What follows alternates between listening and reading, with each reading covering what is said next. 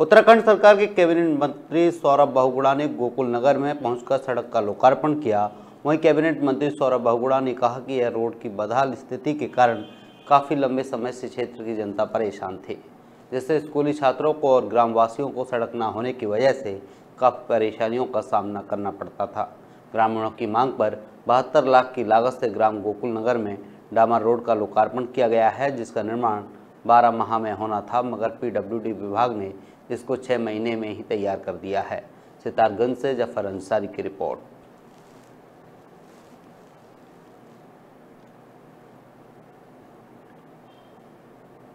के सभी लोगों को, एक बहुत पुरानी इनकी डिमांड थी लगभग लगभग जहाँ तक तो मुझे संज्ञान में है कि 40-45 साल से ये रोड की डिमांड कर रहे थे, रोड नहीं थी, लोगों को बहुत समस्या होती थी। बारिश में निकलना दुश्वार हो जाता था, यहाँ पर बच्चे स्कूल नहीं जा पा रहे थे। और ये रोड आज बनकर तैयार है, उसी का आज हमने उद्घाटन किया है। और मैंने अपने पिछले चुनाव में जो दो हज़ार बाईस का चुनाव हुआ, उसमें वादा किया था कि चुनाव जीतने के तुरंत बाद ये रोड का निर्माण कराया जाएगा। और आज वो चुनावी वादा पूरा होगा। प्रधान जी का धन्यवाद।